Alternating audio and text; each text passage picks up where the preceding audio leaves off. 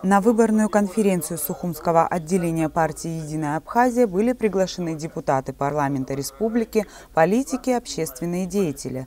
Партия, по словам ее членов, находится на этапе реструктуризации. Идет активное привлечение молодых кадров в ее работу.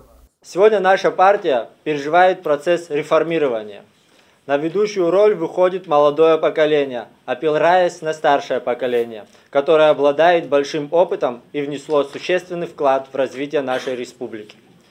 Именно такое слияние нового взгляда и опыта является наиболее эффективным.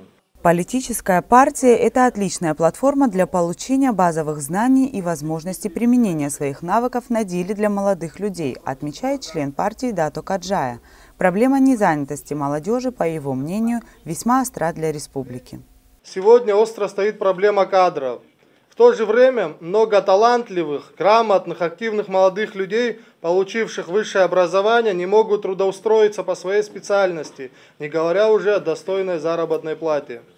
Немало наших молодых людей, обучавшихся за пределами страны, по окончании учебы, попросту не видя перспективы для самореализации, не возвращаются на родину. С возрождением «Единую Абхазию» поздравил председатель партии экономического развития Абхазии Беслан Будба. Он подчеркнул важность развития политических ячеек в нашей стране. С этой партией мы работаем давно, дружим давно.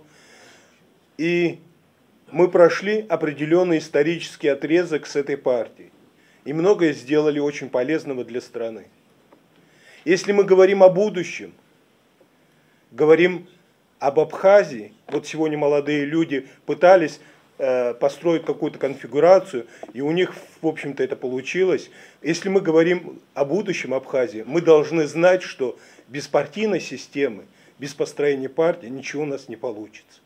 В ходе голосования председателем Сухумского отделения партии «Единая Абхазия» был избран Алхас Монаргия. Его заместителями стали Дмитрий Маршаня и Тимур Шапковский. Илана Казам, Бараму Камки. Абаза.